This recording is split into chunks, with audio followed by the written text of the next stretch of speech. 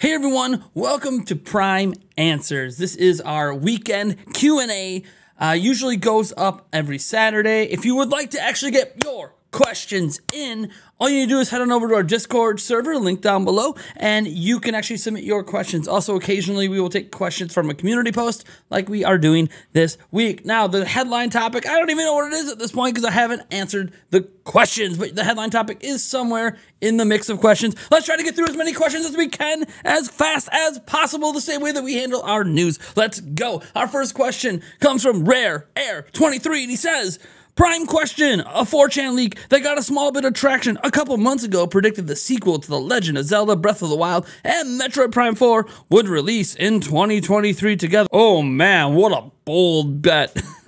In a perfect world where both games are ready to release in the same year, what good reasons are there to take on such a task releasing both games in the same calendar, being that they're such big games?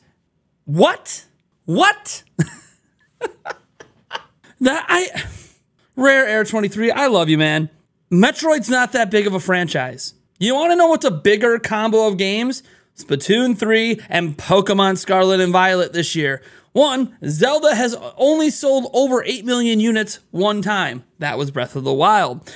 Metroid has never sold really north of 4 million. So, what are we talking about? These are not what you think they are. All right you can have multiple big releases in the same year. Let's start there. Let's ignore let's ignore what the games are.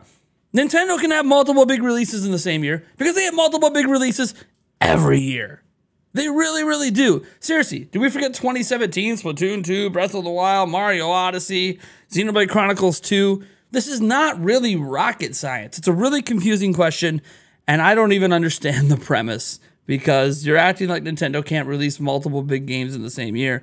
And again, as excited as I am for Metroid Prime 4, Metroid itself is not really that big of a selling IP for Nintendo. It's actually in like the bottom tier. So I don't even think that they would consider it a big game release in 2023. Corey Bohm has a question coming in here and he says, Prime question, who's better at Splatoon?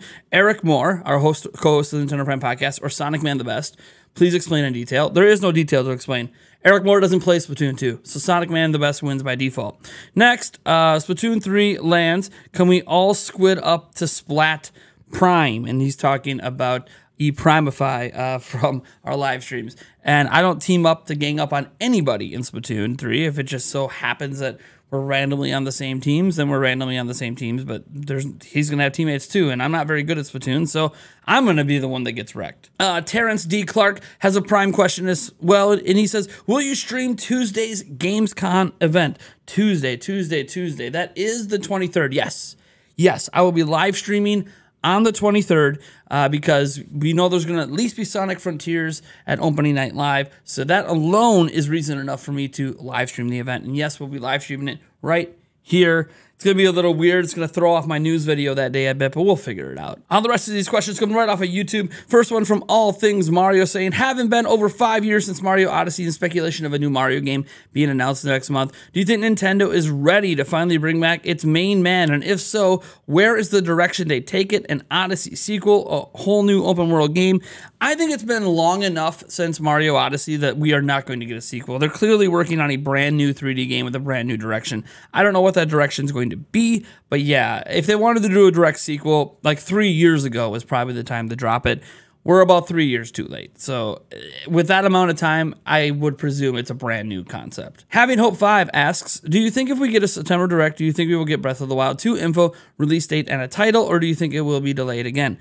What is what? No, one, we're not going to get a Breath of the Wild 2 news in September. Just I'm, I'm I'm just throwing this out there as a guess. I don't actually know, but I don't expect it. And just because it's not there in September doesn't mean it's delayed. The game doesn't come out till 2023. What are we talking about? What are we talking? It's a 2023 game. It's spring of 2023. That means they have all the way up until basically sometime in June to release it. Now, people don't realize that spring heads into June. Look, look, guys there is nothing to worry about with Breath of the Wild 2 at the moment. We don't have to hear about it this year. They can start the advertising campaign in January or February of next year. Breath of the Wild 2 doesn't need nine months of advertising to come out.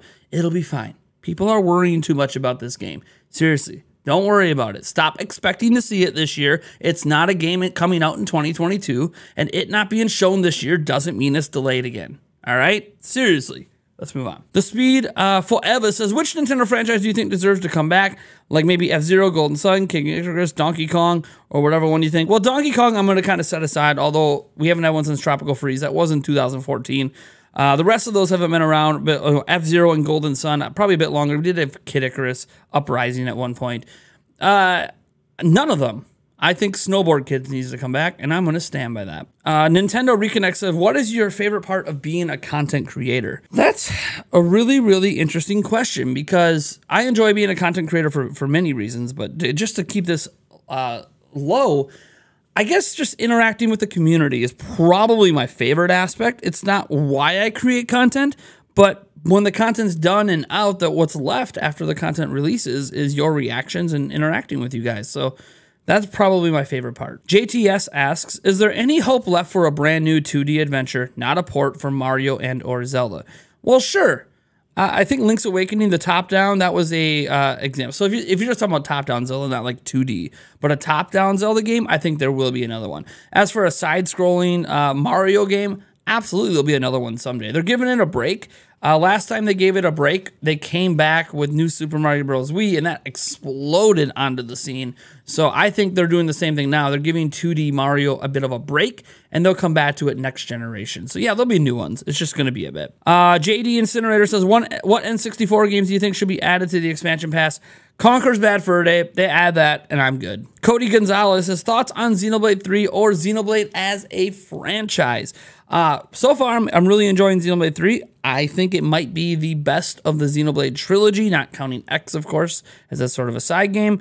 But yeah, uh, the Xenoblade franchise itself is really, really good, and I think Nintendo's trying to turn it into the Nintendo Final Fantasy, and I'm all on board with that. Coop D Loop says favorite part of Metroid Dread. Metroid Dread, my favorite part the entire game. I don't know if I could break down any specific part. I mean, the boss fights, I guess, are pro. the boss fights are really good. But I love the exploration. I love the puzzles. Even running from the E.M.M.I.s. Like there isn't a whole lot I dislike about Metroid Dread. To be honest, it's probably easier to ask me, "What do you dislike about Metroid Dread?" Well, I guess my answer is the same. Nothing. Uh, Death Sword Slashes. What Zelda stuff is going down in 2022? At this point, nothing. I don't think we're getting anything Zelda this year. Sorry. Uh, Vicarious says the most important question of the day lemon or lime? Lemon. Well, I like lemon in most situations. I like lime in drinks. I'm weird. Sorry. Anyways, folks, that was Prime Answers. Thank you so much for tuning in, and I'll catch each and every one of you in our next video.